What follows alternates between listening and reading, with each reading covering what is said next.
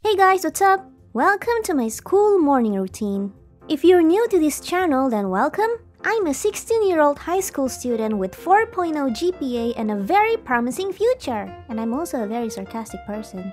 So I'd usually wake up at 4:30 a.m. because my school started at 6:30.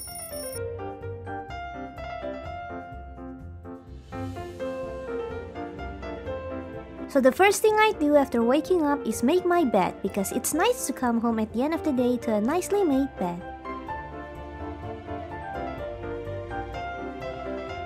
After that, I take my super lame uniform and go to the bathroom to brush my teeth and take a shower.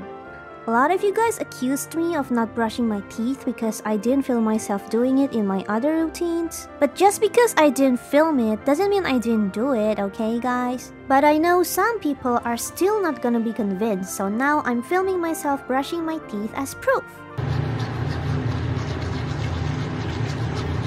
This is why I don't like filming myself brushing my teeth because it feels super awkward. After brushing my teeth, I would then take a shower. The shower scene will be demonstrated by my raccoon. Enjoy!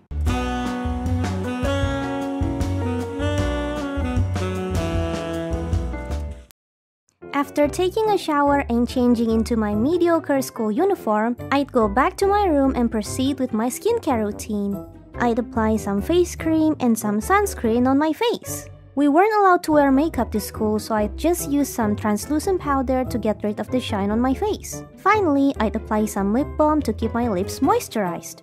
Next, I'd brush my hair and style my fringe. You gotta look good for senpai in case you accidentally bump into him in a hallway, am I right, fellow weebs? So as you guys can see, my fringe tends to get this weird parting at the right side of my face and I don't know how to control it. It's weird because my hair parts in the middle, but my fringe keeps stubbornly parting on the right side. So after multiple failed attempts of getting my fringe to look perfect, I just had to accept that, like everything else in life, my fringe would never be perfect. After styling my hair, I would then wear my tie.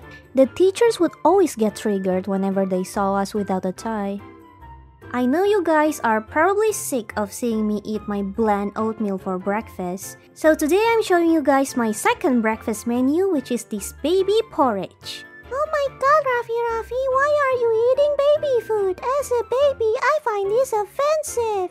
I'm sorry to all the babies out there for eating your food, but it just tastes so good, I can't help it. It's easy to make as well, you just have to mix it with warm water and voila, you have a delicious meal that looks like barf. But hey, what matters is the taste, am I right? This is actually the secret to retaining my youthful appearance. If I don't eat this for a few days, I'll return to my original form like Mother Gothel, so I have to eat this baby porridge at least once a week.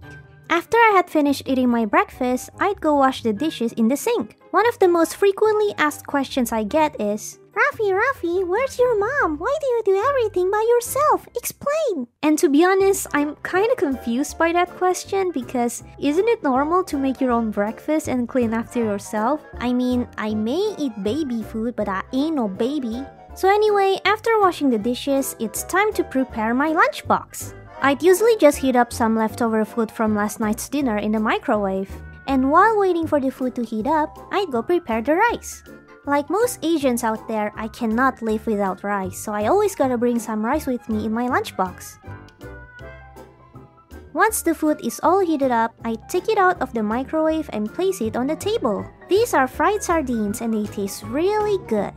Next, I'd prepare some vegetables. Since I wouldn't have time to cook some, I'd just bring some fresh tomatoes or in this case a cucumber. I take out the sap first and then wash the cucumber in the sink. I then cut it into small slices. I had a hard time cutting this because my tripod and camera were in the way. So then I put the sardines and cucumber slices inside my lunchbox. My lunchbox consists of two parts which you stack on top of each other and then you secure them with an elastic. I got it from Miniso by the way.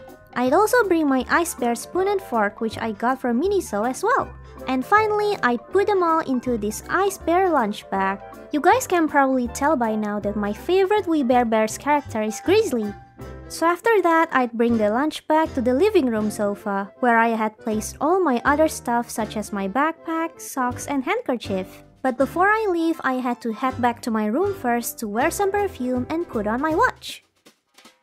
Finally, I put on my socks and shoes and head off to school. So that was my school morning routine. I hope you guys enjoyed it. This is gonna be the last school morning routine that I'd make. A lot of people don't seem to realize that I've already graduated high school even after I told them multiple times. And they kept asking me to make an updated school routine even though I obviously don't have one. Yeah, so anyway, that's all from me today. Thank you guys for watching and have a nice day. Bye bye!